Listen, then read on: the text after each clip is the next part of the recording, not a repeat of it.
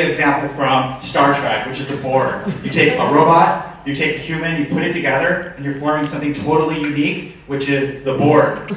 But within the Issei community, they did something, or excuse me, let me give you an example from the Issei community. An example is behind me, a Buddhist church. The Issei brought with them their religion, which is Buddhism.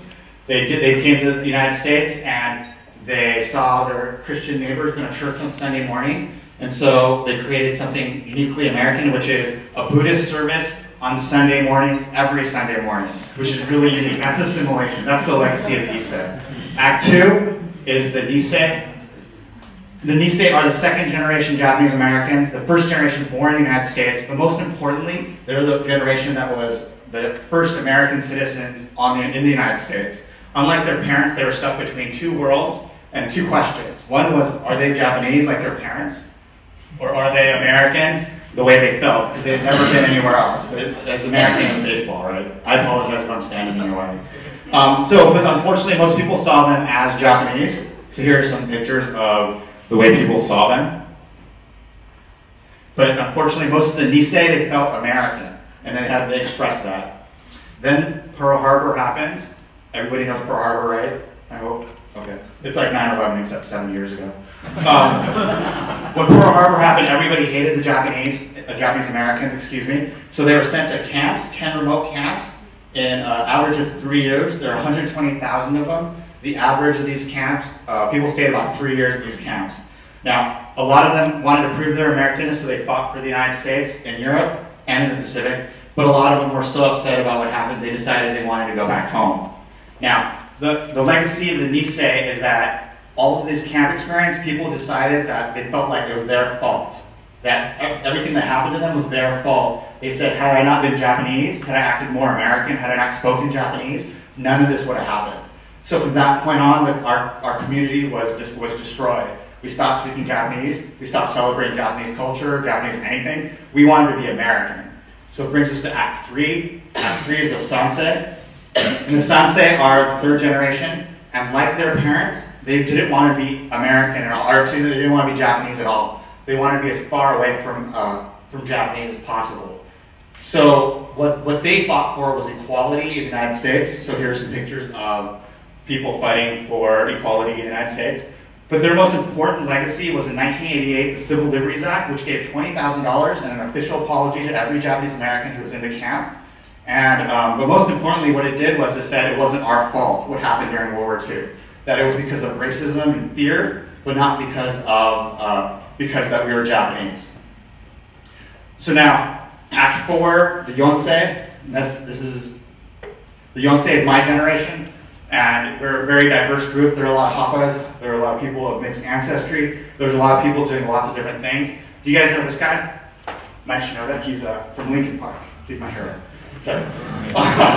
So I'm going to tell I'm to tell the the story of the Yonsei in, in three different trends. There's three different trends of the Yonsei through my writing. I'm a I'm a filmmaker by the way. Um, and I work at the Japanese American National Museum. So the first, the first trend is this movie. This is my first movie. It's called Haunted Highway. And the trend is that they want to continue to be American. That we don't want to be Japanese. That we just want to prove our Americanness. And even a few generations later, a lot of Japanese Americans are still proving that.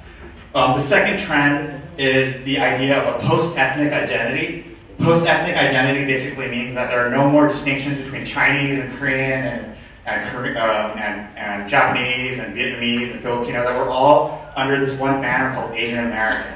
And so you're finding a lot more uh, young, younger kids ex expressing that they're Asian American, not Japanese American or Chinese American. So this is an example from my, this is my newest movie called The People I Slept With. It's a romantic comedy, it's not porn. Um, and it's not about the people I've slept with, by the way. But uh, this is an Asian American movie. And I was going to show you a film, but I don't think there was enough time, so I'll go ahead, go ahead. The third trend, and I think the most important trend, so what's, oh, do you want to show the, oh, it's not working, it's fine. Um, third, if you want to see it, I'll show you. I actually have the DVD at my hotel room. Oh, you have to come to my hotel room.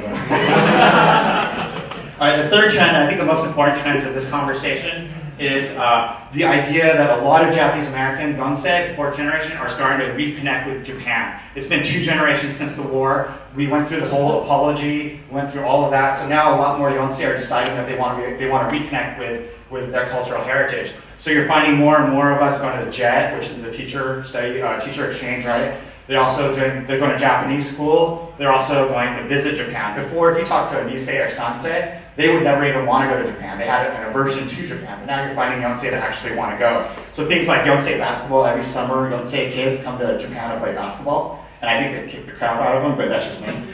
Um, a lot of a lot of Yonsei also they, they go to cultural uh, museums or uh, centers to learn more about the Japanese culture. I work at the Japanese American National Museum, that's why I needed to put it up there.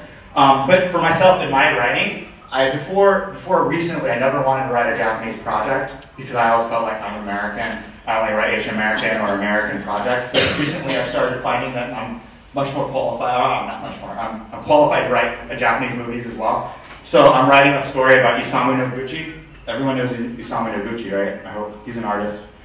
Um, this other story I'm writing is about Sugihara. He was a diplomat and the third story, and the most, the most interesting story I think to this conversation again, is I'm writing a Madame Butterfly. And this is, this is a very interesting film because everyone knows Madame Butterfly, the opera, is racist and all that, that stuff. So I'm taking a look at it from a non-racist point of view, and I'm working with a Japanese writer who's writing it from a female Japanese point of view. So it's, it's a very highly collaborative process. And the reason I'm involved in the Madame Butterfly is not only my Japanese American, but I also can write for an American audience. And that's, that's what I bring to the project. Now, what is the future of the Japanese American community? I think it's more collaboration. When you hit the Gosei community, you're going to find that we're working, they're going to start working more and more with Japan. They're going to, they're going to start learning about Japan again, and they're going to start being a part of Japan again. And this is all stems from what happened after World War II.